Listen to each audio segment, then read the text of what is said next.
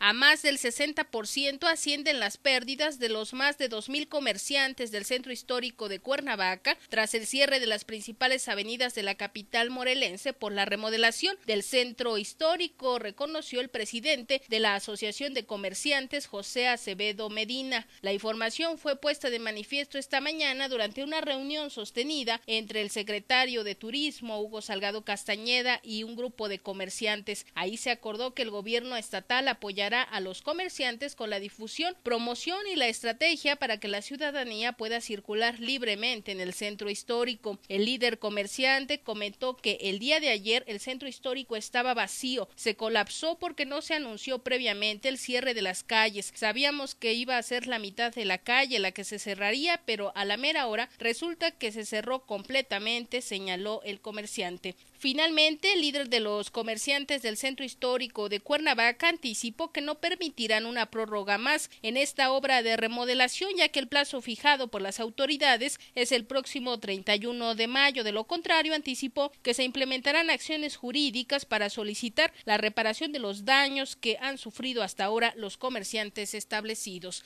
Con información de Eric Abraham, Minerva Delgado, Ultra Noticias.